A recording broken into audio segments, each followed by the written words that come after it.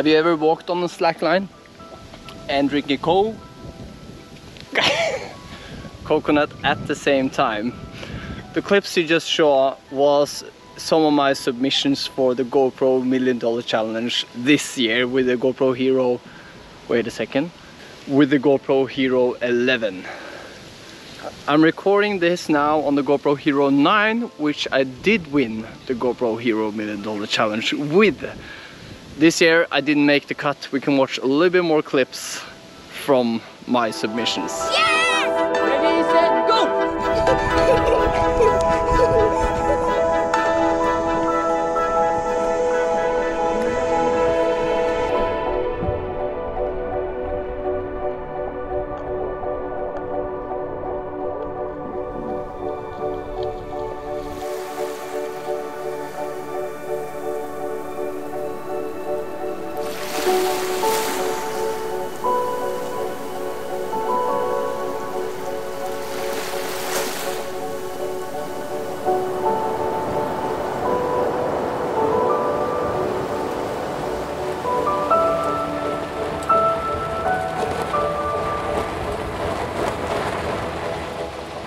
GoPro a lot now with the Hero 11 so I just invested into I will show you here if I turn on this one. As you can see we have the Media Mod with the microphone on. So that's I never tried it before. This is first try.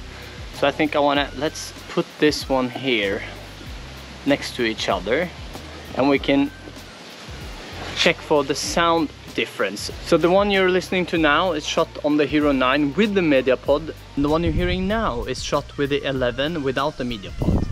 How's the sound difference? Is it any remarkable difference? I hope so, yeah. But with the MediaPod, as you can see here, we still have the opportunity to attach other microphones, which makes it possible for me to attach microphone here and stuff. Cup of coffee, so good. If you're visiting Lombok, you're more than welcome to come to our place, yeah, Anchor Bed and Bread. Both the coconut, the slackline, and the coffee is from here, so yeah. I will switch between the two cameras and you will be seen below the sound, where the sound comes from. But as you probably understood, if you've been following me for a little while, I've been using GoPro. Since Hero 1 actually, I bought it uh, many years ago, I think it was 2009 or something that I bought my first GoPro and been using them ever since. I almost been using or tried out all of them. And as I said in the beginning, uh, with the GoPro Million Dollar Challenge, it's such a cool thing. So GoPro, thank you so much uh, for hosting an event like that. As you understood also with seeing the clips, I submitted quite a lot of clips this year and I was quite happy with a lot of them actually. I thought, I thought them were cool.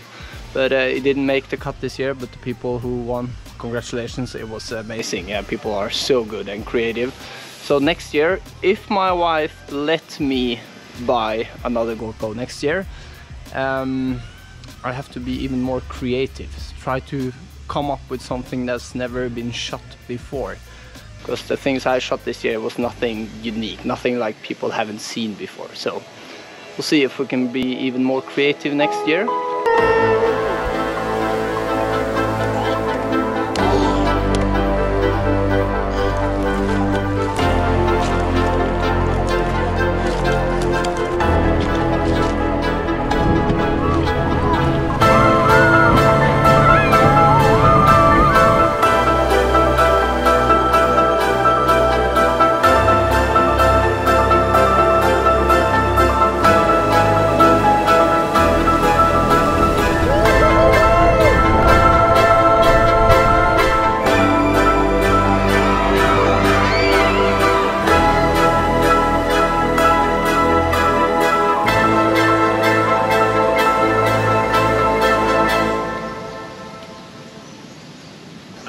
slackline when I was like 19 to a couple of 20s.